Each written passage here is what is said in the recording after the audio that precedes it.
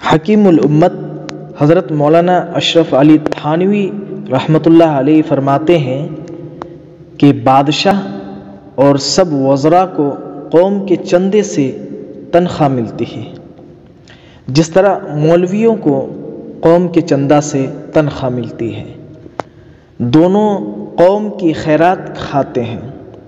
अलबत्ता बादशाह और वज़रा की खैरात ज़्यादा है इसलिए इज़्ज़त से देखा जाता है।